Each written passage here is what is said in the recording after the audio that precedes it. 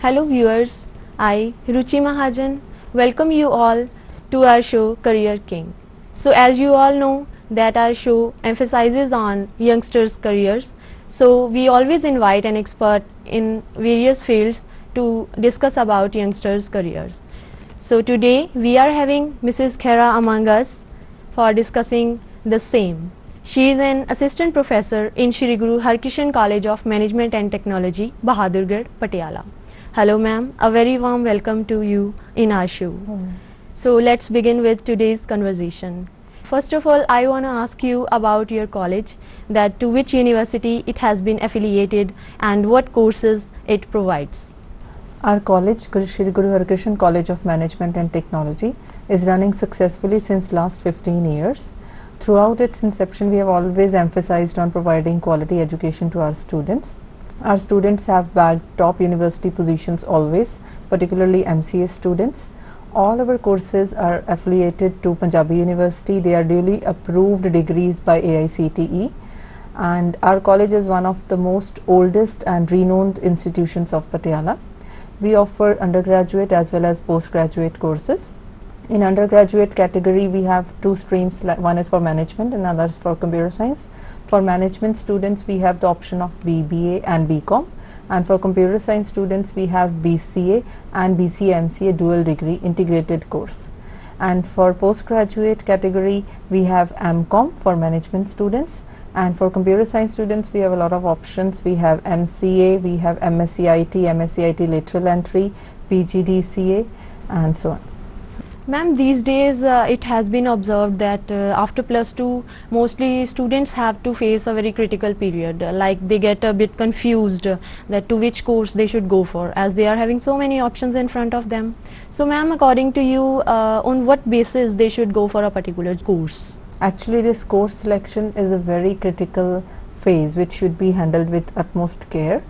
People generally in India do not follow a very systematic approach for selecting a particular course. Earlier, we used to have just a few number of courses, and uh, there were entrance tests for all the courses. Those entrance tests used to measure whether this particular student is eligible for this particular course or not. Okay. But nowadays, if anybody wants to do engineering, there are a lot of seats. If anybody wants to be do MBA or MCA or any course, you name it, there are so many seats available. Students can just go and uh, fetch that degree. So these thing approaches are very unprofessional. For selecting a particular course, neither a student should see what all his friends are doing, nor he should uh, be under the influence of false advertisements, nor there should be any pressure from the family or from the parents that th- you should go for this particular course. Basically, the course selection should come from within. You should see the interest of the student and second the scope of that particular field. So, ma'am, once a student uh, has decided for a particular course, then uh, on what basis uh, he should now select for a particular uh, college uh, to join for pursuing a particular course? This is a very good question, Ruchi. As college selection has become very critical these days because the number of colleges have increased too much. Yeah. Today, in every hook and corner of the city, we can find a new college. For s- deciding about a particular college, what I feel the students must talk to the passed out students. The pass out students can give a first hand, honest experience, feedback about the particular college, how the studies are there, how the teachers are there, and so on. So, basically, the first thing is students, they should talk about the past students.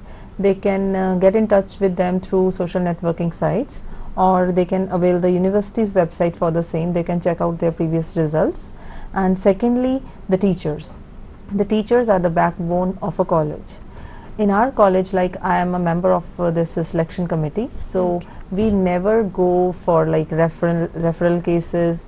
We just select and hire the best persons in a totally honest manner, and we make sure that the syllabus is completed and everything, the practicals are taken care of. So teachers are very important. The second thing is the results. Okay. Our results, our students have secured gold medals from the university, and it's not just one or two students who secured well. It is always all the students. 100% passing percentage is there, and all the students fairly attain good marks. Just as an example, I want to quote something here. Like Yeah.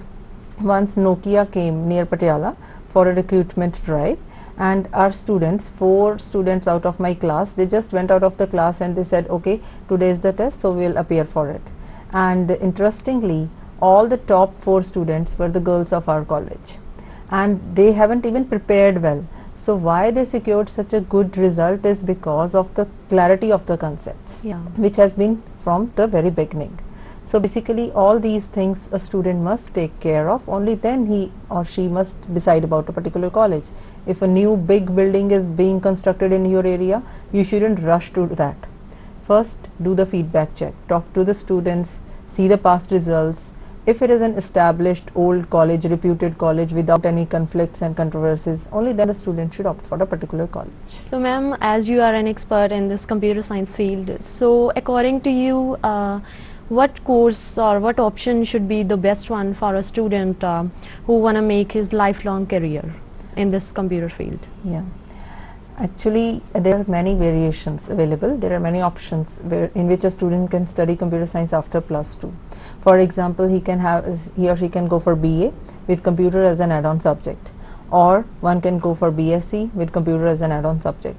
But here, the main emphasis is not given on the computer science. Yeah. So, for a student who has decided that throughout my life I want to do computer science, he or she must go for BCA or computer engineering or the best option which is available today is BCA MCA dual course. It is also known as integrated MCA and our college is the first college in Patiala which is starting this course and it is affiliated to Punjabi University. It has multiple benefits. The first and the obvious benefit is the saving of one year. If a student does BCA and then he does MCA, then it takes six years. But if he first does BCA and MCA together, like in dual integrated course, then this complete package is of five years. Okay. And there is also a very good option that if after BCA you decide about changing your line or you want to go abroad or something, you don't want to dis- want to continue about uh, integrated MCA, then you can leave after three years. Then you will get a full-fledged BCA degree. The second advantage is regarding the redundancy of the subjects, the, which I mean there are many subjects which are repeated in BCA and MCA both. So basically it is a wastage of time for the student. The student has to study the same subjects in BCA as well as in MCA. But in this dual degree course, which is will, which will be like uh, nine to eight semesters, theory semesters will be there. So all the subjects are different. All the subjects are taken to an advanced level with every ongoing semester. So the thorough understanding of the concepts will be only in this field. A person who has decided after plus two ki I will be doing computer science throughout my life, I'll be pursuing this field, he or she must join this course without any doubt in his mind. This is the best course. So, ma'am, is there any criteria that um, a student uh, from a particular stream should join this course, or uh, any student from any stream can join this dual degree integrated course? Well, actually, the exact uh, eligibility criteria the university has to decide yet. Basically, for doing MCA, the criteria is you should have passed uh, statistics or maths at the plus two level, Yeah. or it should be as one of the subjects in your graduation. Okay. So, basically, for this, basically, the student in any stream can join this integrated course as for now. But uh, university norms can change, and uh, we need to adopt by the latest norms. So, we'll have to wait for that. Okay. okay. So, ma'am, uh, these days uh, we see that many universities are there which are offering uh, part-time uh, education or distance courses, uh, which not only have uh, lesser free structure but also uh, give us an opportunity to go for a particular job side by side. So, ma'am, according to you, is it a better idea to go for distance education rather than a regular one? No doubt, distance education has advantages like it saves money, and secondly, it uh, gives us an opportunity of earn while you learn. But basically, these two advantages are not uh, a big yes for the computer science field. A computer science is a totally technical subject which requires hours of working in the lab.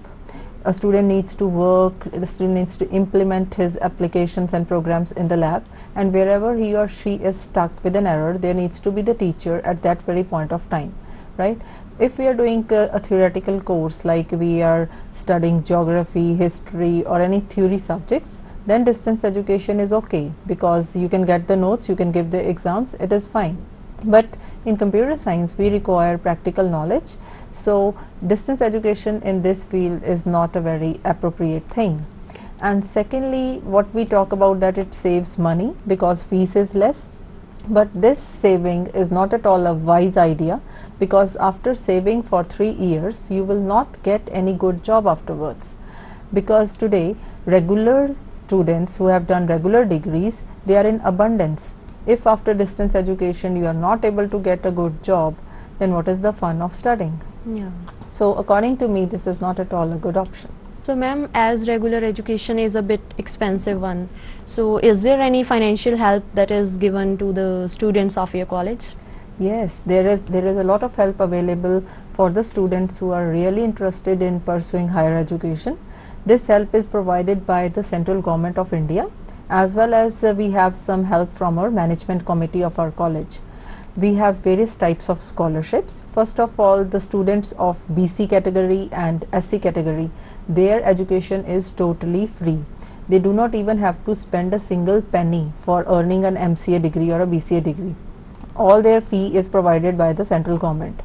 Apart from that, for we have minority means scholarship, which is provided by central government for higher education.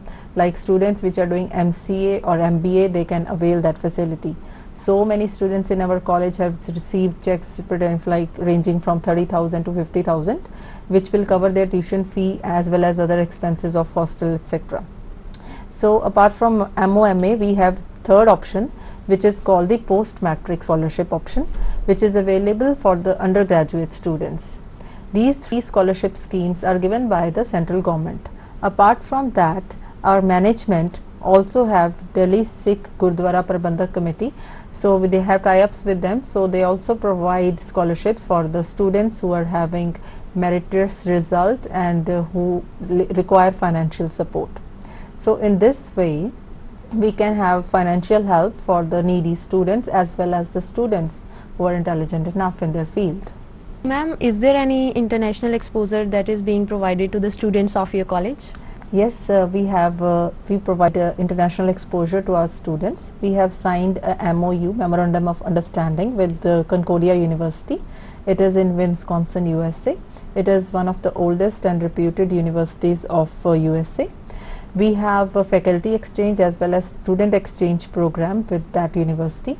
A batch of 10 students visited America for around 15 days earlier. They were all doing MC. So with that we can send our students easily to that university they can have an exposure and they can feel like what all education is provided in their university so we help our students in that manner okay so ma'am now at last will you please like to give any suggestions for our students i will really like to suggest them because basically at this stage plus 2 after plus 2 they are at a very crucial stage of life whatever a student will be doing for the next 5 years all his future life is dependent on that. So a student must carefully select a particular course and a particular college and if a student is really interested in studies and in work for working hard and obtaining good results, conceptual knowledge, then he or she is welcome to Shri Guru Harkrishan College of Management and Technology as we promise quality education. If you are looking for really serious business in studies, then you are most welcome to our college. Thanks Khaira ma'am for coming to our show and benefiting our viewers with your August guidance. We are very sure that uh, today our viewers has uh, have got uh, its benefit. Uh, thanks viewers for watching the show. In case of any queries, please feel free to contact on the numbers displayed on the screen. Have a nice time ahead. Good day.